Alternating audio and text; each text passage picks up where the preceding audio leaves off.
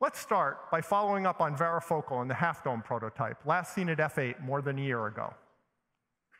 The headset we shared at F8 was the result of several years of research and prototyping of advanced display systems. Half Dome was our first prototype to achieve two milestones. First, using Fresnel lenses, it supported a 140-degree field of view. Second, by physically moving the screens based on eye tracking, it changed the focal depth and kept the image sharp even when inspecting close objects. Today, I'm pleased to be able to share a new varifocal concept prototype, Half Dome 2, built by our display systems research team working closely with several other teams across FRL. Unlike the original Half Dome, Half Dome 2 is targeted primarily at ergonomics and comfort, both visual and physical. The new prototype is substantially smaller and lighter than Half Dome, largely because our optics team has managed to fold the optical path into a very small volume. Overall, we've been able to improve form factor substantially and reduce weight by a full 200 grams over Half Dome. The trade-off for that increased comfort is that the field of view is narrower than Half Dome, although still 20% wider than Quest. The varifocal hardware has also been considerably improved, so let's take a quick look at that. Varifocal now relies on voice coil actuators and flexure hinge arrays, eliminating any points of sliding or rolling contact between the moving screen and the pod assembly. This improves on the original Half Dome by reducing noise and vibration to imperceptible levels. All in all, Half Dome 2 continues the trajectory of Half Dome toward more immersive and comfortable VR displays. But there's more. As I said earlier, we're inventing as fast as we can, so I'm delighted to be able to share our first electronic varifocal system, Half Dome 3.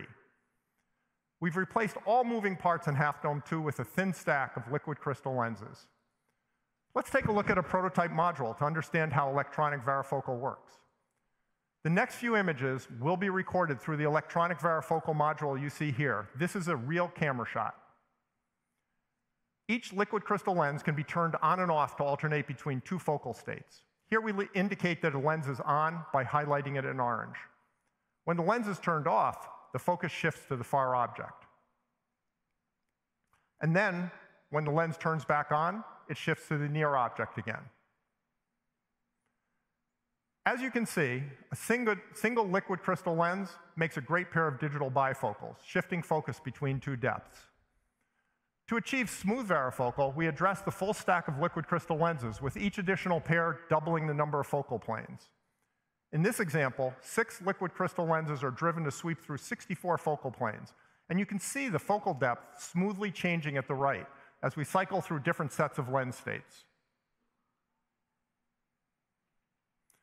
In addition to having no moving parts, this approach allows significantly better form factor compared to its predecessors.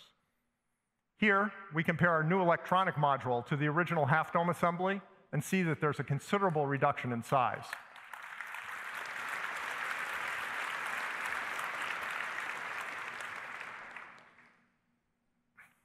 When we integrate the electronic module into a complete prototype headset, it defines a new state-of-the-art for VR ergonomics.